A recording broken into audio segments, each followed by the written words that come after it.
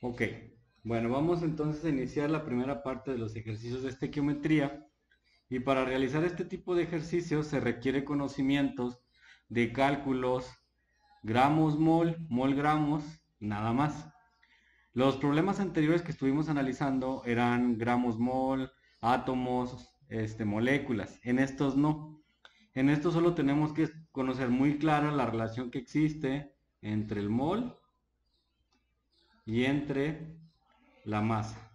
Generalmente la masa siempre nos la van a reportar en gramos. ¿ok? Entonces tenemos que tener mucho cuidado, sobre todo, de cómo vamos a trabajar con estas sustancias. Entonces, ¿qué es lo primero que tengo que aprender de este tipo de problemas? Tengo que aprender a reconocer, pues, cuáles son los elementos que conforman el problema. En este problema se incluye otra cosa que es muy importante, que son las ecuaciones químicas. Le voy a dar un zoom aquí a la ecuación química. Siempre tenemos que poder identificar en la ecuación química cuáles son los productos y cuáles son pues prácticamente los reactivos. Estos son los reactivos y estos son los productos. Es lo primero que tenemos que identificar. ¿sí? Lo que el resultado de la reacción, exactamente. Por ejemplo, aquí en esta reacción química se está mezclando metano con dos moléculas de oxígeno con una molécula de monóxido, dióxido de carbono y dos de agua. ¿sí? Generalmente, inclusive estos nos representan la molaridad o el concepto de mol.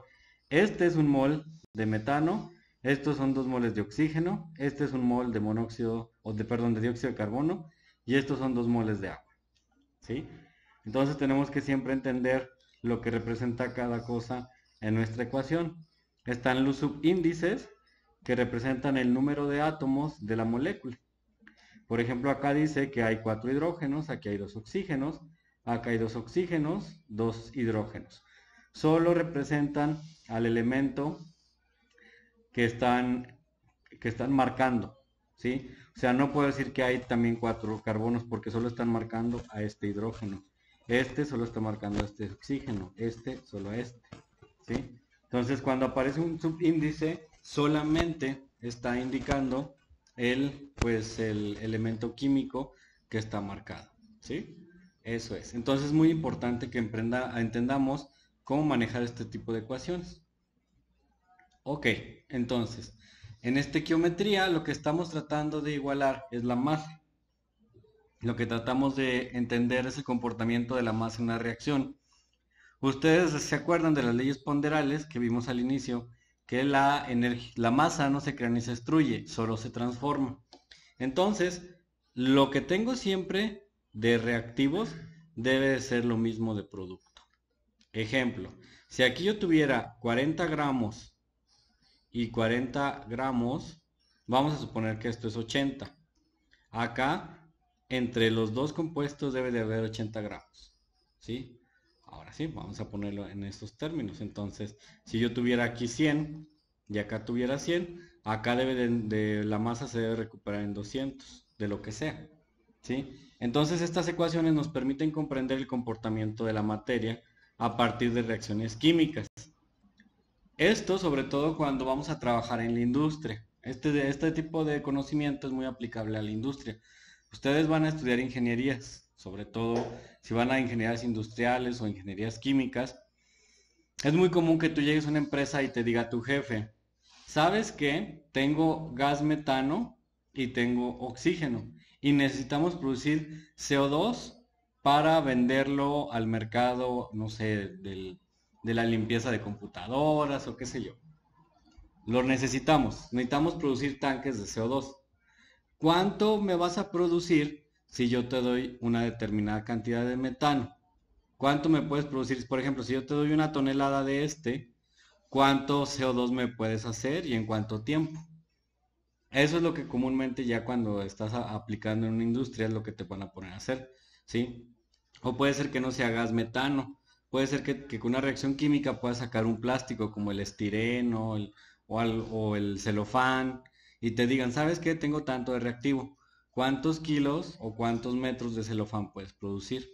Entonces, este es el objetivo de aprender estequiometría aplicado pues prácticamente a la ciencia o a la industria.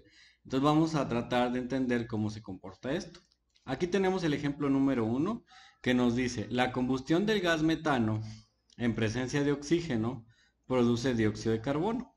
Efectivamente, el metano en presencia de oxígeno produce CO2 y agua. ¿Sí? Este pareciera que es un problema de contaminación. Cuando tú quemas un alcano, se produce CO2. El CO2 es un gas contaminante. Imagínate que esto es un combustible de algo. Entonces a lo mejor tú puedes determinar qué tanto está contaminando ese compuesto cada vez que lo usas. O ese, ese, ese vehículo que utiliza CH4, cuánto puede estar contaminando. O cuando haces un proceso químico, cuando nos dedicamos, por ejemplo, a la industria del... Bueno, cuando estás en la industria y eres, por ejemplo, la gente de, higiene ambiental o de contaminación e impacto o responsabilidad social, aquí es donde tú puedes decirle, ¿sabes qué? Cada vez que nosotros hacemos el proceso, se produce tanto. Imagínate que estás en la industria el día de hoy, para este primer ejemplo, y tienes que calcular cuánto CO2 se produce a partir de una cantidad dada. Dícese así. ¿Cuál es el peso de CO2 que se obtiene a partir de 50 gramos de CH4? O sea, yo voy a pesar 50 gramos y tú vas a hacer una reacción química. Quiero saber cuánto estás contaminando. Para eso requiero considerar la ecuación base. La ecuación base es esta, esta que está ahí. Entonces, vamos a hacer el ejercicio para ver cómo nos da. Entonces dice que tenemos 50 gramos. Entonces tú estás en la industria, vamos a poner rayota para que nos quede bien esto, si no se nos va a confundir. Ahí está.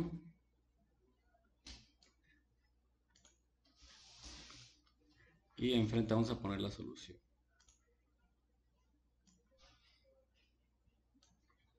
La ecuación hay que verificar que esté balanceada. Es otra cosa que se me pasó.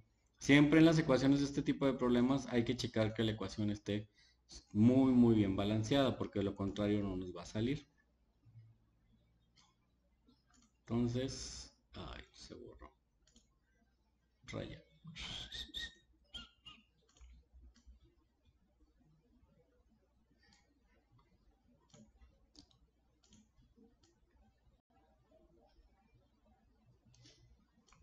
estamos este es nuestro primer ejercicio entonces, dice gas metano. Número uno, ¿la ecuación está balanceada? ¿Cómo sé si la ecuación está balanceada? Pues cuento el número de carbonos. En los reactivos tengo un carbono. En los productos tengo un carbono. En los reactivos tengo cuatro hidrógenos. En los productos tengo cuatro hidrógenos. 2 por 2, 4. En los reactivos tengo cuatro oxígenos. En los productos tengo cuatro oxígenos. Entonces esta ecuación está balanceada. Si no estuviese balanceada, tendríamos que hacer un método que se conoce como método del tanteo para balancear ecuaciones. O sea, empiezas a jugar con los números hasta que te da el número del lado derecho y del lado izquierdo igual de la ecuación. En este caso está balanceada. Entonces, ¿qué hacemos? Pues plantearla. Dice que vamos a trabajar con 50 gramos de qué? De metano. Por lo tanto, en química, el primer paso que se tiene que hacer es transformar esto a número de moles. Es el primer paso para trabajar con ecuación en moles. Entonces, ¿cómo le hago? Yo ya sé que un mol de CH4 tiene un determinado peso. Ese peso es 12 del carbono y 4 del hidrógeno, porque son 4, cada hidrógeno pesa 1. Serían 12, 13, 14, 15, serían 16 gramos. 16 gramos. ¿sí? Y ahora, pues pongo los 50 gramos que me están dando. ¿sí? Un mol pesa 16 gramos literalmente de... Déjenme lo vuelvo a poner. CH4, 16 gramos. Ahí está, 16 gramos. Entonces, los 50 gramos que a mí me están dando, ¿a cuántos moles es igual? Hago la conversión y este es el primer paso para solucionar este tipo de problemas. Entonces, multiplicamos 50 por 1 y los dividimos entre 16. Vamos a ver.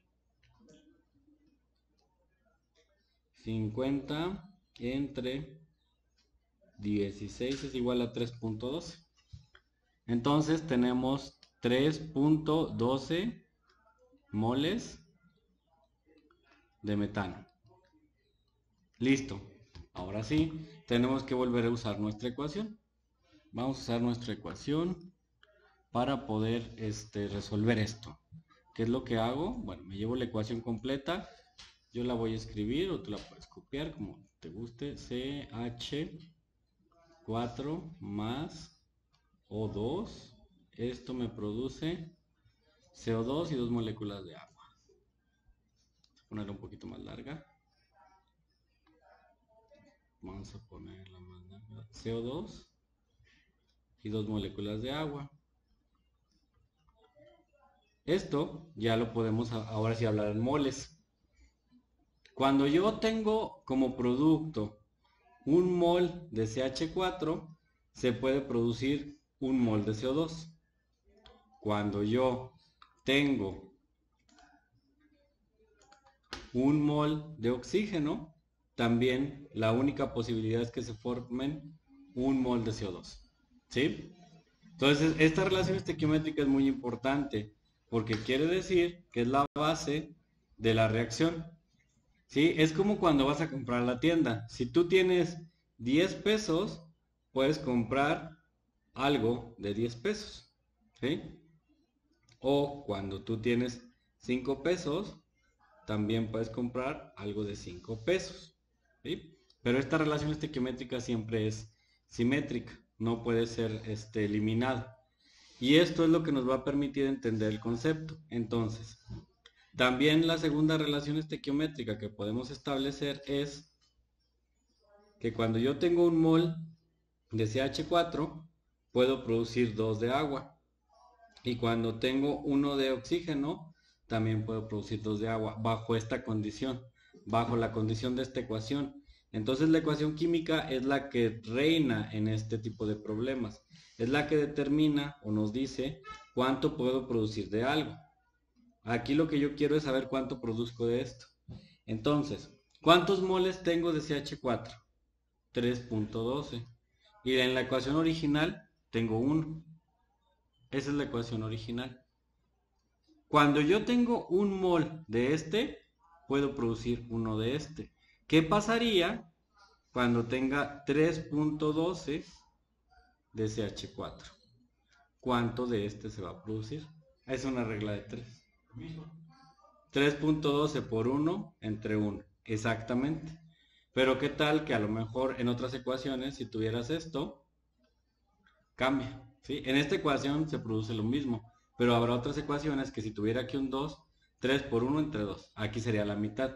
Pero en este caso la relación estequiométrica es muy muy bueno, nos favorece porque solamente es, es una unidad, digámoslo así, que sea constante. Entonces, cuando tú tienes un mol de metano, puedes producir un mol de CO2. Esa es la regla para este caso. Por eso este, el determinante o la variable estrella es la ecuación. ¿Sí? Porque es la que te va a decir cuánto de los moles que tú calcules en las ecuaciones químicas es lo que se produce. Entonces aquí, tal como lo dijo su compañero, pues literalmente se va a producir 3.12 moles de CO2.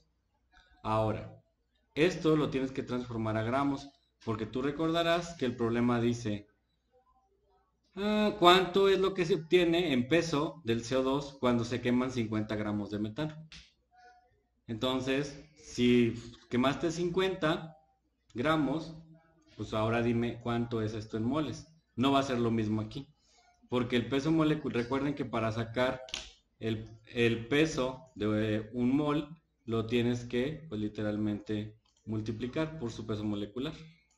¿Sí? Entonces aquí esto sería distinto. Vamos a ponerlo ahí. Aquí sería un mol. Ahora sí de CO2. Creo que pesa 44, 16 por 2, 32 y 12, 44. Este pesa 44, 44 gramos. 3.12 a cuánto es igual. Entonces multiplicamos 3.12 por 44 y vamos a obtener 3.12 por 44. Vamos a obtener 137.28. Entonces, cuando yo 137.28 gramos, cuando yo quemo 50 gramos de metano, cuando yo quemo 50 gramos de esto, produzco 137.28 de CO2. Y así tú puedes saber, ahora sí que tanto estás contaminando. ¿Cómo le haces? Vas a las normas. ¿Qué tal que la norma dice, en esta combustión no debes de quemar más de 100 gramos de CO2, no debes de producir más de 100 CO2. Entonces estás contaminando. Y así le puedes ir a decir a tu jefe, ¿sabes qué jefe? Esta ecuación no nos sirve. ¿Por qué? Porque cada vez que quemas 50 gramos de este combustible, que es metano, ¿qué crees? Se produce 137.28 de CO2. Y la norma dice que solamente debemos producir 100, nos estamos pasando con 37. ¿y ahora qué vamos a hacer? No, pues tú eres el químico, va a buscar otra ecuación. Y vas a buscar otra ecuación para quemar este, este compuesto. O a lo mejor le vas a decir, pues sabes qué, pon un filtro, haz de cuenta que esta es la, esta es la, el reactor. Aquí pones el CH4, pones 50. Entonces cuando tú lo quemas, pues se liberan 137 de CO2. Esto a lo mejor está mal, es un decir, ¿no? ¿Qué hacemos? ¿Sabes qué? Pues pon una campana y atrapa este compuesto y les decimos, no, no lo estamos echando al ambiente, lo estamos guardando aquí y luego lo vamos a tratar para no contaminar. Eso es lo que hace la industria. Y luego en la noche lo liberan. Pero así es como más o menos se hacen este tipo de procesos. O sea, lo que se está buscando es neutralizar o como eh, pues prácticamente, pues sí se podría decir, se está buscando volver eficiente este proceso y cumplir con, con ciertas cuestiones. Eso es lo que, lo que nos enseña este tipo de ejercicios. ¿Sí? Es lo que tratamos como de, de estar viendo. Vamos a hacer el segundo. Es igual el mismo sistema. Mm, formas.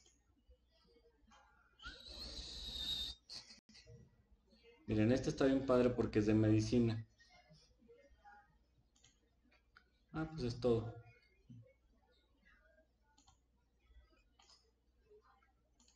Ustedes saben que en medicina, por ejemplo, este, hay una situación muy importante que es la cantidad de medicamento que nos dan. Yo creo que todos hemos tenido agruras alguna vez en nuestra vida. Sí les ha dado agruras, ¿no? Alguna vez. O reflujo o acidez estomacal. ¿No? Nunca les ha dado. Son muy jóvenes todavía para eso. Bueno.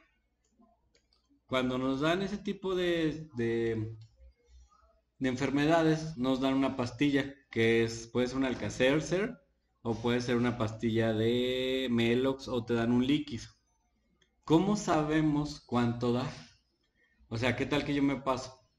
¿O qué tal que le doy de menos y no tiene el efecto terapéutico? Para eso existen las reacciones químicas. A alguien se le ocurrió, bueno, pues que una persona cuando tiene comida, cuando come taquis, cuando come taquis, esos taquis pasan a su estómago. El estómago tiene una acidez como de un pH de 3. Sí, es un decir. Ahí. más o menos. Un pH, es que es mayúscula, igual a 3. Es un decir. Cuando comes taquis, tú estás aportando este tipo de iones que causan acidez. Entonces tu pH empieza a disminuir. De 3 se bajó a 2. Y si aparte te tomaste una coca, No, tú no, tú no aplicas, ya vi que andas muy fitness. Si aparte te comiste una, te tomaste una coca, pues a lo mejor el pH ya se bajó a 1. Esto es ácido. Y tu estómago empieza a renegar. Entonces vas con el médico y te dice, ¿sabes qué? Te voy a dar una pastilla de, de hidróxido de magnesio que pesa 150 gramos. Y dice, ¿sí cómo sabe que eso me va a ayudar? Ah, pues resulta que se estudió el proceso para saber cuánta cantidad de ácido hay aquí en moles en el estómago. Entonces, un estómago normal es un decir, lo estoy inventando. un estómago normal tiene dos moles de ácido clorhídrico adentro del estómago. Es un decir. Entonces, si yo tengo dos, tengo que darte la cantidad exacta de hidróxido para neutralizar eso. Y no es lo mismo que te no te puedo dar dos moles de, de, magnesio porque tiene peso molecular distinto. Tengo que calcular cuál es la cantidad exacta que yo te debo dar. Y así es como se hacen este tipo de, estudios. Para eso sirve este tipo de conocimiento. Para dosificar a lo mejor algunos tipos de medicina o algunos tipos de dosificación. ¿sí? Ese es el objetivo de este, de este tipo de ejercicios. Ya vimos el de la industria, ahora vamos a ver este. Entonces, comiste taquis y pues traes una acidez de 1. Está, está, la ecuación base en el estómago es que si yo tengo 2 moles de ácido, cuando le ponga 1, se va a neutralizar. O sea, lo que busco es que desaparezca la acidez. Entonces, esta ecuación me va a servir para ver cuántos moles se neutralizan con la pastilla que me están dando. ¿Qué es lo que hago? Igual, tomo esta ecuación química y me la llevo para allá, pero primero convierto esos 150 gramos de magnesio, los voy a tener que transformar a moles. Vamos a ver el peso molecular del magnesio, que ahorita no me acuerdo cuál es. Peso molecular del magnesio. está. Es 24, no, ¿sí? 24.3, pero más o menos para no estar este, batallando, vamos a decir que es 24.3. Ahí está. Entonces, igual, vamos a decir que un mol es igual a 24.3 gramos. Entonces, 150 a cuántos males, moles es igual. Entonces divide 150 entre 24.3. 150 entre 24.3 y te das cuenta que eso es 6.17. Entonces una pastilla de hidróxido de magnesio me, me hace que yo a mi estómago meta 6.17 moles de magnesio. Vamos a ver mi ecuación base que dice 1, 2, dice que cuando yo reacciono un mol de magnesio con 2 de ácido clorhídrico, se logra una neutralización de la siguiente forma, que se produce un mol de MgCl más hidrógeno, creo que vi que era. Vamos a ver. MgCl2. MgCl2, ah sí, porque tiene dos cargas. Y ya. Entonces, esta es la ecuación base. Dice, cuando yo tengo un mol de magnesio, pueden neutralizar dos de este. Se fijan, ahora la relación está aquí. Cuando yo me tomo uno, neutralizo dos. Entonces, ¿qué pasaría si yo me tomo 6.17? Si yo me tomo 6.17 moles, ¿cuántos voy a poder neutralizar de este? Entonces 6.17, en este caso por 2, aquí sí cambia. ¿sí? Aquí sería 6.17 por 2. 6.17 por 2. 6.17 por 2. Eso es 12.34. Entonces, yo puedo neutralizar 12.34 moles de ácido clorhídrico con 6.17 de magnesio. Esa es la relación. Si lo transformo eso a gramos, 12.34 por el peso del ácido clorhídrico, vamos a ver, un mol es igual a 12.34, no, un mol de ácido clorhídrico. Perdón. Me agarró todo esto vuelvo a poner este cloro 2 más H2 que se me movió H2 no H2 nada más entonces un mol de ácido cuánto pesa vamos a ver cuánto pesa el mol de ácido un mol de ácido un de ácido clorhídrico. Creo que es 35. Puesto del ácido 36, no andaba tan perdido. 36.4. Un mol es igual a 36.4. 36.4. Y yo obtuve 12. 12.34 a cuántos moles es igual. ¿Sí? Esa es nuestra aseveración. Entonces multiplicamos 12.34. 12.34 por cuánto dijimos? Por 36.4. 449. Entonces, 449 gramos de ácido. Conclusión. Cuando yo me tomo una pastilla que tiene 150 gramos de magnesio, en mi estómago se puede neutralizar 449 gramos de ácido. Eso permite que nosotros podemos establecer una dosis, ¿sí? Con base a estudios clínicos, obviamente. Pero gracias a eso nosotros podríamos decir cuánto magnesio es lo que un cuerpo necesita para poder neutralizar cierta cantidad de ácido. Si tú me dices, si, a ti por ejemplo te haces un estudio y determinan que siempre traes esta cantidad de ácido y se quiere eliminar, pues a lo mejor te dan esta, esta cantidad de pastilla, es un decir, ¿no? O si quieren reducírtelo a la mitad, pues te darán 70, 70 este, miligramos de este para que solo se baje la mitad del ácido. O sea, es jugar a reducir a lo mejor si no todo, solo una cantidad. Y estos son pues prácticamente la base de los problemas de estequiometría, que nosotros podamos entender hacia dónde vamos y cómo hacerlo. ¿sí? Esta es la, forma más básica y primordial para poder realizar este tipo de, de cálculos. ¿Alguna duda? ¿No? ¿Están difíciles? Como complejos, ¿no? Sí, están confusos. Es este